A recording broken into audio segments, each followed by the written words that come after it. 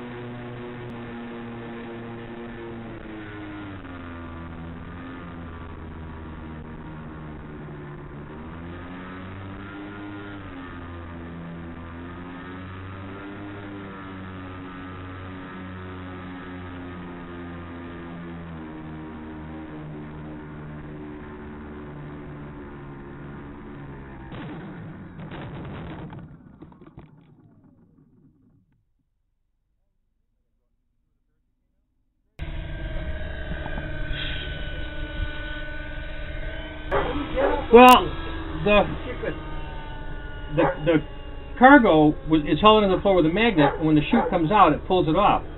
But the magnet didn't hold it. The, the, the cargo came out. first, and then the chute hanging I know. So I figured, do I want to fly like this and get the picture, or do I want to? Am I going to mess up my flight? So I threw the switch and released the chute. But the chute opened. You should have left it longer then and got it higher. Well, I, I thought it might cause some flight problems. I wasn't sure. The chute tires